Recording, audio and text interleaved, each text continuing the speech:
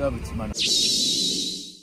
鴨に来ましたはい。原宿の。来てますね。はい。チェッコン川原のうん。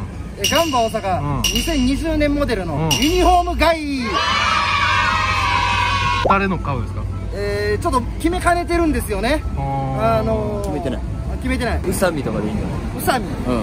宇佐美はちょっときついな。きつい。きついな。でパトリックとか。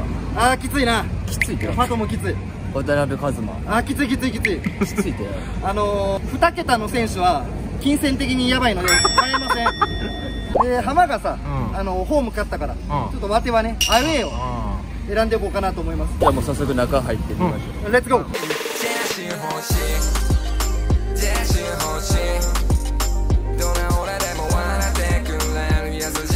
買いました。わ誰を勝った言っていいですか？あ庄司源選手です。3 3番。一桁で。1桁で。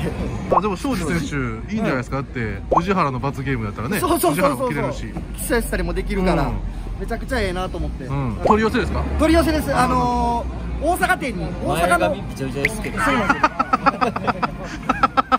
なびちゃびちゃ大阪店にあるみたいでどれくらい？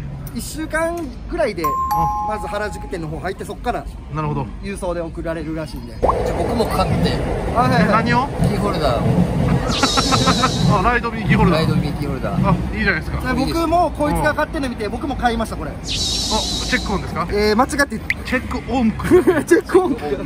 チェックオンクってなってんのよ。ゃあまあこれはまあ視聴者プレゼントそうですね。これはもういらないんで。こんなチェックオンクなんていらないんで、はい、またねあの、うん。ガンガン試合もこれ着てやっていくんで、はいね、楽しみにしといてください。よいしょはい。チェックオンライド